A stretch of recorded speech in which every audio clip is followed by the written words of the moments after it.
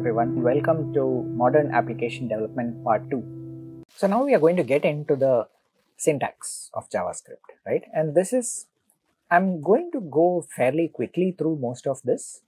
Uh, what I'll be doing is sort of giving a rough presentation of some of the concepts and then switching over to a demonstration of some parts of it in Replit, right? But the reason why I'm sort of going a little bit quickly through this is because the assumption here is that most of you have some degree of familiarity with a language like Python. So as we move forward, I'll sort of try and make the connection with Python as far as I can in most places, right? Uh, if you know a language like C or Java, that's even better. It would make it even easier to learn JavaScript, right? The basic syntax is actually very straightforward and easy. Right? And uh, what we are looking at is not sort of a complete detailed knowledge of the syntax. What we are looking at is a working knowledge, meaning that enough to sort of get started. And then as you find that, you know, okay, maybe how do I implement this or how do I do this particular thing? You get back and say, okay, fine, you know, maybe I need to learn a little bit more of the syntax. Okay, so that's the approach that we are going to be taking here. And as we move forward, you're basically be learning more and more and trying out different instances. And ultimately you know like with any other language the only way of learning it is to work with it. Try. Try the uh, try programming. Okay? So the like i already mentioned the basic front end usage right the javascript must be invoked from an html page right? You don't just write a program and run the program so to say right it must be invoked as a script from an HTML page. Only then it has this concept of a document that is uh, it is associated with, right? And front-end JavaScript is closely tied to the idea of the DOM, right? The document object model, which means that if it's not directly invoked from an HTML page, there is no document and basically it cannot execute or rather cannot do anything useful. Okay it's a scripting language. There is no compilation step. So whatever you type in and you know you create the script that's pretty much what runs just like python. Okay? It's also loosely structure, uh, structured similar to python. What do i mean by this? For those of you who are familiar with c you would know that you know the c program needs to start with certain hash includes it may not have hash includes but you know if they are there they usually have to be right at the top of the program and then you have the main function, right? The int main, which is going to execute when the program is actually executed. So that main function has to be there. Uh, certain other things, you know, I mean, it then has to have the open braces, close braces, and within that a sequence of statements. It is a little bit more structured than a Python script, which could just have a bunch of statements that get executed one after the other. JavaScript in that sense is closer to Python than to C. Okay. Now, there are certain things called identifiers, right? They are the sort of the words used in the language, right? And you need to be aware of these, although, you know, you don't have to sort of learn this list by heart, right? Uh, there are a number of so-called reserved words, right? And you can think of obvious reserved words. So, for example, this word if is something that you could easily understand would be a reserved word. Function is the equivalent of def in Python, which is used in order to define a new function, right? Then you have uh, uh, certain things which we will come to more in JavaScript. There is this thing called let and const, which are used in order to declare variables, right? Uh, and a bunch of other different languages out here. There's a while which is used in order to implement while loops, right? There are certain things like with and so on, which you may have come across in Python, but in JavaScript have a slightly different meaning. Okay, so it's not that it's a direct one-on-one -on -one translation from everything that you have seen in Python, but the basic thing to keep in mind right here is that you know there are a few reserved words that you don't really need to uh, think too much about to start with. Right? You need to know what they are so that you can use them. The most important thing is if something is called a reserved word, don't use that word as the name of a variable. Right? And in general that's like good advice right? I mean avoid using the name of anything which you even suspect might be used as part of the language as a variable right? So don't for example try and call a variable delete or del right? Even though del is not a reserved word in this case right? Uh, there could be uses of del that you don't really know what uh, it is going to be used for right? So call it something else. You can always give it a different name right? If you if in doubt, then probably modify the name a little bit so that it's not likely to be a reserved word. There are certain things called literals, which are, for example, true and false, and null, which we will, you know, you will see a lot of null in JavaScript. It's basically the equivalent of the none in Python, right? And it's sort of the undefined uh, state, right? Now these are literals. They are not really keywords in the sense that they don't start or end a statement. They are values that can be used in comparisons and so on for assignments.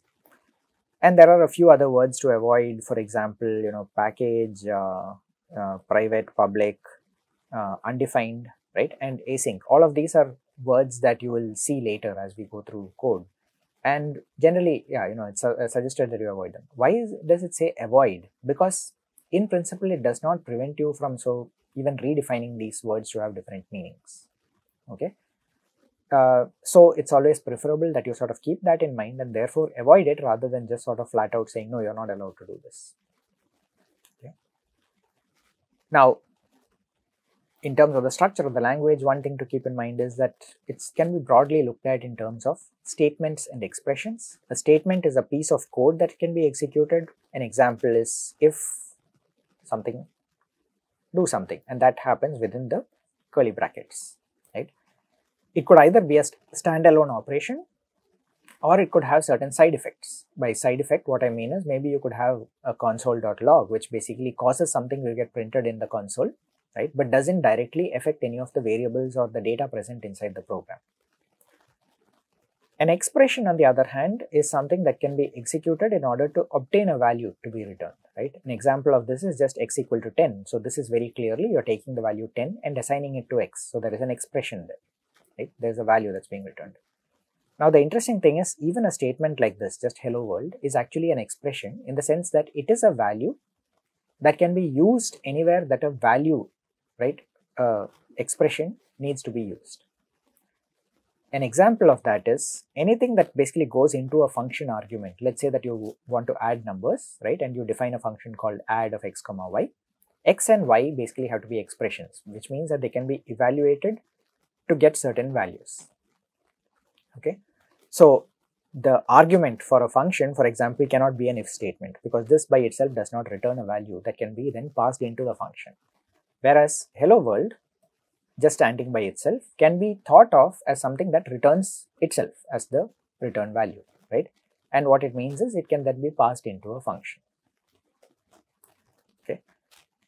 There are a number of so-called primitive data types in JavaScript, right? And these are sort of built into the language. There is something called undefined and null, which are important things that you need to keep in mind as we move forward but apart, but they are not really data types. They are sort of special cases. They are what are called non-values.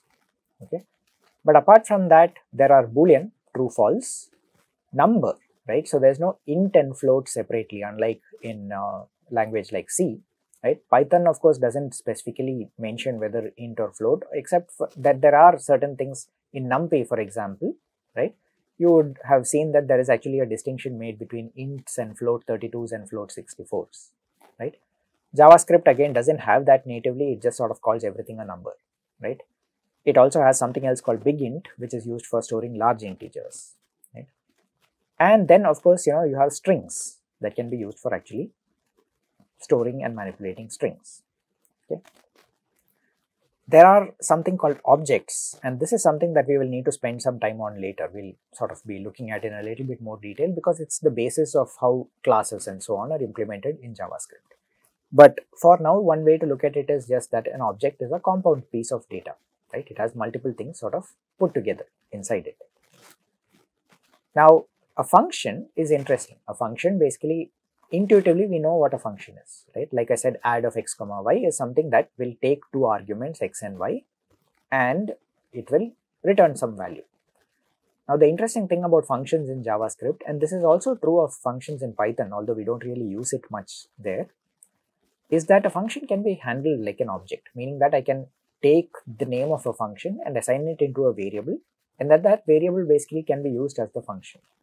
Now that can be done in Python as well, but in JavaScript you will find that it's actually used in that sense a bit more, right? You have this concept of taking a function, defining it as an anonymous object and then assigning it to a variable that happens a lot in JavaScript.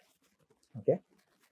Now they can be handled like objects, and of course the interesting thing is you can have you know objects can themselves have functions inside them.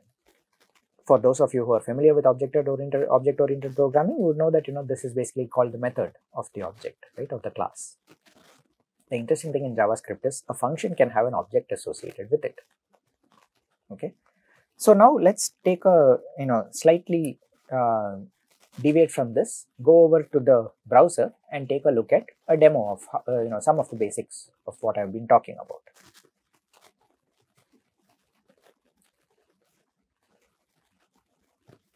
So this is an example of a basic project that I have created in Replit.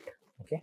In fact, if you just go to Replit and you say create REPL, right, and you choose let's say HTML, CSS, JavaScript, right, and you just give it any name that you want. By default, it will create something that looks like this, right, which basically has this set of files. It has an index.html, it has a script.js, right, or here I have added a lot of material to script.js. By default, it will be empty, and there will be a style.css, which once again in this case is just empty, right. Now, what that means is what you have on the left hand side over here is a set of the files that you have created, right? You can add your own files, you can put images in there, you can create subfolders. Hopefully most of you are familiar with this and have used it at some point either for your Flask applications or in some other context. Otherwise, it's quite easy to get used to anyway. Now, the interesting thing is let's start with this index.html, right? So it's a you know well-defined HTML file. It has a doc type defined at the uh, right at the beginning. It has this HTML slash HTML closing tag, head slash head and body slash body. Okay. Now in the head, all of this, the meta material and so on comes by default. Right. This is basically what's provided by Replit. Okay. Including the link to the style sheet. Okay. So I have not touched this part at all. What has been done is I have added certain entries out here. So for example, this div that is present over here, another div that is present over here, and lines 14 and 15, which are two more scripts that have been added. All of these things are parts that are not really there in a default replit that will get created. Okay, I've added them and I will be sort of demonstrating them as we move forward, right? It sort of makes it easier for me to have these things ready, which is why I've kept it like this. Now, what's the bottom line? what you can see is that you know right now if I go look at script.js well it has just one line over here saying console.log hello console right this is sort of the equivalent of the hello world program right it's the first thing that we want to output from our script you'll notice right now that everything else over here is just basically been commented out. I'll get to those later. There are also a couple of other scripts that are also all commented out right? But let's focus on script.js for now. So script.js has just this one line console.log hello console. And this index.html by itself has, well, it has a couple of empty divs which are not expected to show anything. And it has this one thing saying hello world, right? So if I look just at the HTML file, what I can expect is inside the body, there is some text, hello world, right? And there is also some script that is going to get loaded, okay? and this is it this line 13 over here which basically says script source equal to script.js slash script is responsible once we run this program right for actually loading up that script executing what's inside it and generating output if needed. Okay? So let's think about what is likely to happen. The first of course is that you know what we expect is the html file should at least display this right? So this should show up in the browser. That should happen on our right out here right? On the right hand side where we have this https js hello world and so on right? In this right hand side pane we expect to see the html output.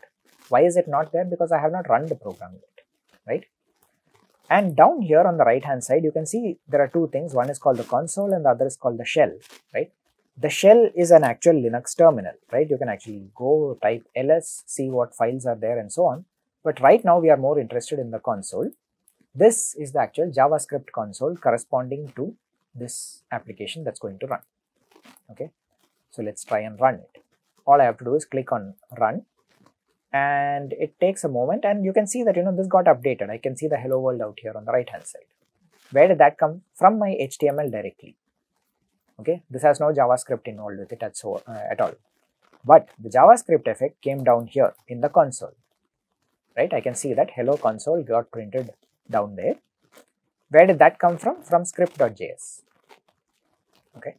So this line console.log hello console is an example of a statement it's just you know do this.